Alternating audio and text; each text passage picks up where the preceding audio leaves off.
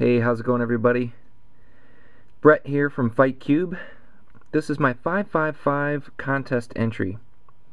This is a 555 Nixie and they're pretty cool. A lot of people make clocks out of them.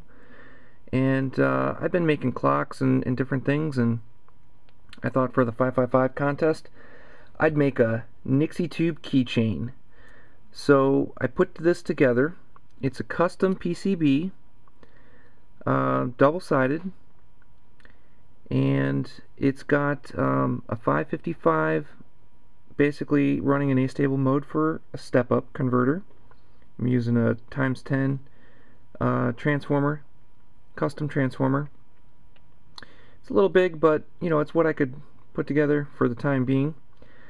Um, I have a couple footprints on here for optional components. Um, check out the schematic for that, but essentially this guy's running at uh, you know roughly 22 kilohertz or so. And then on the output um, you just got a, uh, a diode and a cap. And uh, the voltages get up to about 170 volts or so.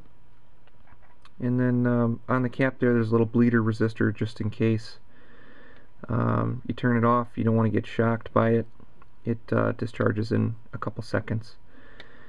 So if you look at the Nixie tube here this is a uh, an IN17 it displays 0 through 9 and I thought it would be really cool to display just one digit. Ah, that's better. There's a little better close-up of the Nixie tube. You can see all the digits in there. So on the back side here I have two more 555s underneath the battery holder and I already glued it on so I kind of can't show you uh, but go ahead and check out the pictures on the uh, on the blog post. Essentially, there's two more astable 555s running under there. One generates a master clock, and the other generates uh, a couple pulses, and that in turn controls the um, these switches here, uh, NPN transistors that drive the low side of the digit.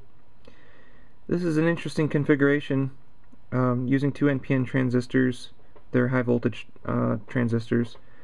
And a resistor, you can actually get current limiting on your uh, on your driver. You can do it high side or low side.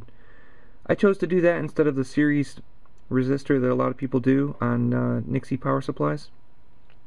Just because I know this tube um, really likes one and a half milliamps, so I've set it to about one and a half milliamps using a 470 ohm resistor. Uh, that's about it. Check out the schematic for exactly how it works. I'm going to power it up here for you.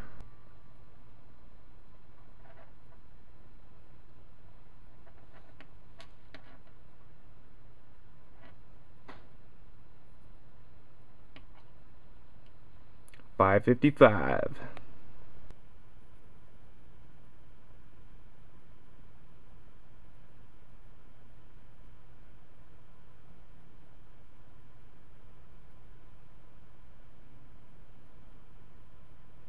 Five five five.